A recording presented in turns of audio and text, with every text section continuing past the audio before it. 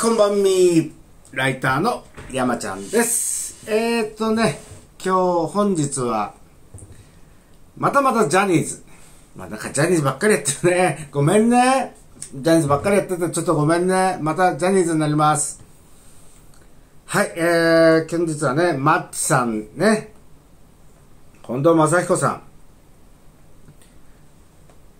ジャニーズ問題昨日語りませんでしたね。19日かな昨日じゃないかな。まあ19日だ19日。一昨日か。うん。今のところはお話できませんという形でね。大磯ロングビーチのね秋の全国全国交通安全運動でのね出席の際にこう答えましたまあ、マッチさんね、言動に対してはね、昔からかなり慎重なんですよ。うん。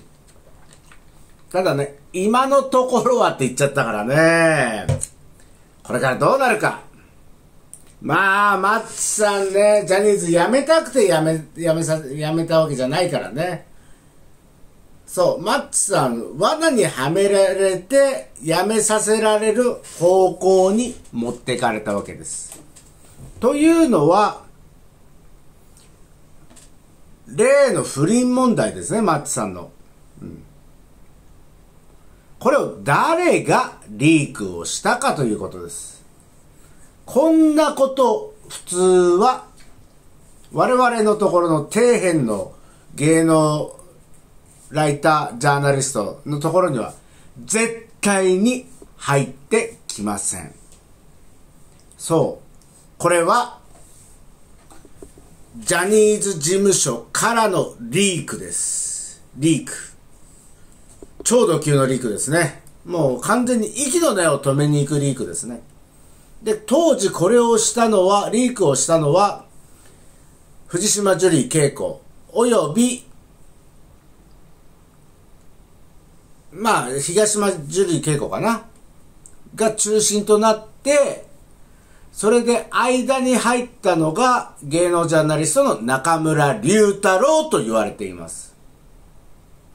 あ、隆太郎さんもね、何ジャニーズのこと叩いてさ、ジュリーと組んでんの、裏で組んでんのかよくわかんねえよ、隆太郎。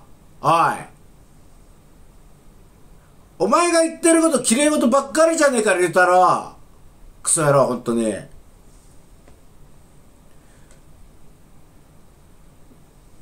俺はあの時よ、バイキングのよ、収録見てたよ。